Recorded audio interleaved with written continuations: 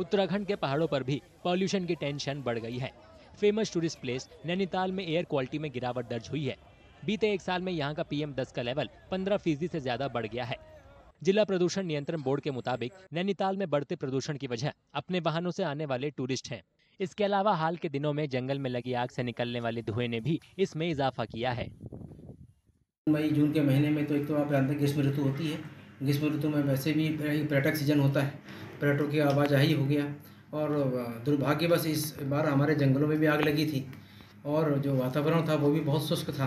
तो उससे जंगलों की आग भी लगी तो और ये वाहनों का प्रदूषण से भी जो है थोड़ा सा हमारा जो जो मानक है उससे थोड़े से ये ज़्यादा हुए। मतलब जैसे पी एम टेन की बात हम करें, आपके P M two point five की बात करें एस टू सल्फ़र डाइऑक्साइड की बात करें, नाइट्रोजन की ऑक्साइड्स की बात करें तो ये लेवल थोड़े भी मतलब ये थोड़े से मतलब अल्टर करें, थोड़े से चेंज हुए। पॉल्यूशन एक्सपर्टों का कहना है कि जंगल की आग तो कभी कभी लगती है लेकिन नैनीताल में बढ़ता ट्रैफ़िक एयर क्वालिटी पर सबसे ज़्यादा प्रभाव डाल रहा है। सबसे ज़्यादा तो फ़र्क जो है वो टूरिस्टों की गाड़ी से पड़ता है जो टूरिस्ट की जो गाड़ियाँ आ रही हैं कई तो डीजल चालित होती हैं कुछ पेट्रोल चालित होती हैं तो उससे तो फ़र्क पड़ना ही पड़ना है।